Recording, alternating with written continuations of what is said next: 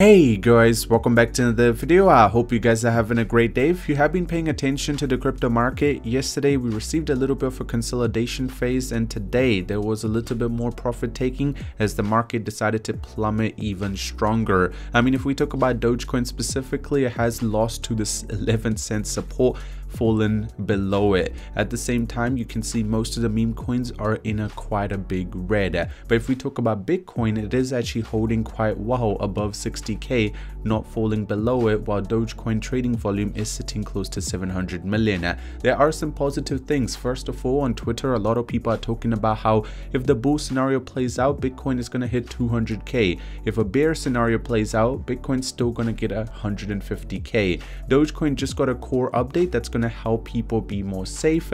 At the same time, Dogecoin eyes a historic bullish breakout even though the price is on a decline and Morgan Stanley bets on the Bitcoin ETF. Now, before we get into all of this, if you guys are here for the first time, you want to stay up to date with everything to do with the crypto market and especially Dogecoin, scroll down, tap the red subscribe button. While there, slap a like on the video, just have to YouTube algorithm push the video to more people. More people are up to date with what is happening. It's really free for you, but it will be very, very beneficial for me. So so go down and slap a like on it and this will also help people be more informed and maybe put some money into crypto and everyone make a lot of profit. Now first of all I just want to give you guys perspective by showing you Brand. This is actually one of the smallest meme coins which are in the top 100. The market cap is sitting close to 800 million but you can see that today it actually took a really strong pullback, which is actually sitting at an 18% decline. And the same thing with Pepe. What I'm trying to tell you is whenever you invest in a crypto market, as I always say, try to only put in the money that you are willing to lose.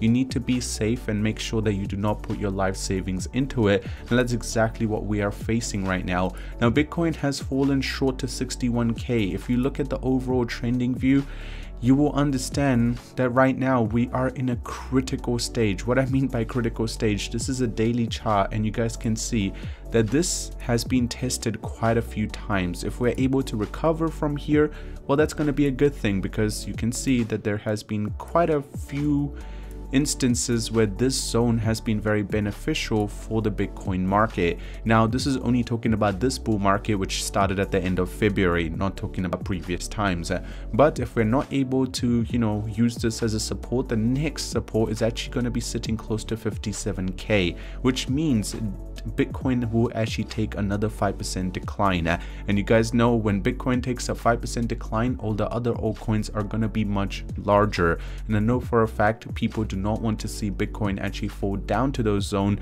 because that might actually incur that we are going maybe into a downtrend, which a lot of people do not want to see. Now keep in mind, I'm not saying that we are completely out of the bull market. We're definitely in the bull market. We're still quite high compared to where we started in the February month, but there is a little bit of panic. If you look at this, this should give you perspective. Bitcoin is sitting at 1.2 trillion when it comes to the market cap, and it's about to get very close to silver. If it's able to get all the way to gold, there is still another 16x left, which means Bitcoin's market cap could be sitting close to $1 million. But keep in mind, that's still a little bit of far away. It's going to take a little bit of time and gold is still quite ahead. I do want to mention another important thing, which uh, a lot of you guys might not know, but Morgan Stanley, which is one of the biggest or, you know, one of the largest trading firms around the world, has just opened access to the spot Bitcoin ETF trading for their wealthy clients. Why is this a good thing? Because this is going to allow for a lot of inflow of cash into the crypto market. And that is exactly what we need right now to stop the market from bleeding and be able to recover. This move signals a growing institutional interest in Bitcoin and crypto investment. Despite the recent outflow, Bitcoin ETF remain a focal point for investors. As I mentioned, the outflow might be a little great, but you need to understand that the money when it starts inflowing will also start pushing up the market very quickly. Now, if this plays out properly, Dogecoin's gonna hit a dollar. If it goes to the bull market, then it might be able to hit two dollars. What do you guys think about this? Let me know down in the comment section. I'm not gonna give you my perspective because I do actually believe in this. That's the thing. Now, Dogecoin's core update. Now, this is going to be helping a lot of people. The Dogecoin Core 1.14.8 release has passed its CAN multiple developers reliable reproduce the exact output from the compilation process test. That means a release is immediate. And why is this responsibility important? Well, the importance of this is just to keep the, you know, the core of Dogecoin safe and make sure that it's not just a meme coin, rather a meme chain. And that's exactly what everyone's been talking about on Twitter, trying to protect and, you know, help Dogecoin become much bigger. Dogecoin faced a significant price turbulence last week, but even then, we pretty much broke below 11 cents, there is still a very good chance that we might be able to see a rebound and actually push over the 13 cent mark. Now, open interest has fallen even more sitting close to 440 million. The Dogecoin price action is again sitting at a really critical support, which was the support used previously for the Dogecoin market to take a little bit of a recovery and it has fallen short to that same place again. But keep in mind, we were not able to break above the downtrend, which I'm very certain a lot of you guys want to see very shortly. We could be about to see Bitcoin rebound. The TD Sequential presents a multiple buy signals on the Bitcoin 4 hour chart an aggressive 13 and sequential 13 and red 9 candles.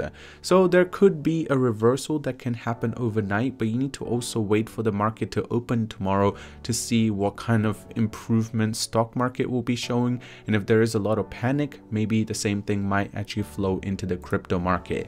Now, France MICA licensing for crypto asset providers. So you can see that there is going to be a lot more um, you know things happening with the crypto market as more regulations will be put on it. 280 or 237 million net outflow hits bitcoin spot etf and this is what i'm talking about.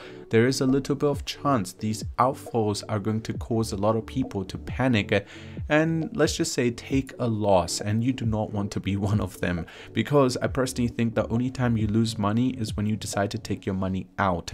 I would like to remind whoever put a full Bitcoin in Dogecoin at the green arrow just back red 30 arrow 70 bitcoin three months later? I mean that should give you perspective. That was a very short period of time and in that time you know that was a big return that you could have received. Now another thing is ripple. Ripple launches their usd or stablecoin page to prepare for the stablecoin debut that might be happening a lot sooner than we imagine. And at the same time, the whole crypto market is very excited because meme chain is going to be a big thing.